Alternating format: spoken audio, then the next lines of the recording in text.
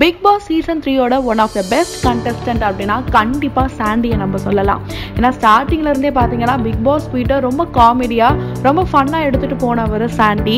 அவருக்கும் கவினுக்கும் இருந்த ஒரு அழகான நாட்களாக முறிவு வந்த போது கூட கவின்காக ஸ்டாண்ட் பண்ணவர் சாண்டி தன்னோட குழந்தைய அவர் எவ்வளோ மிஸ் பண்ணாரு அப்படிங்கிறத ரொம்ப அழகாகவே அவர் வெளிப்படுத்தினாரு. அவருடைய பெஸ்ட் மொமெண்ட் அப்படின்னா அவரோட குழந்தையும் அவர் மனைவியையும் பிக் பாஸ் வீட்டுக்குள்ளே பார்த்தது தான் ஸ்டார்டிங்லேருந்தே சாண்டிக்கு தன்னோட குழந்தை தன்னை மறந்துருமோ அப்படிங்கிற பயம் இருந்துட்டு தான் இருந்துச்சு.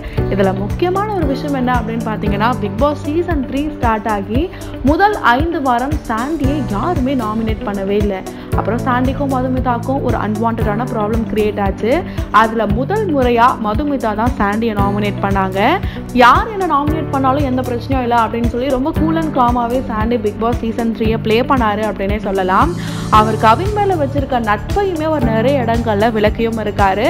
நிறைய இடங்களில் கவின் பழைய மாதிரி வரணும் அப்படிங்கிறதுக்காக எவ்வளவோ போராடி இருக்காரு.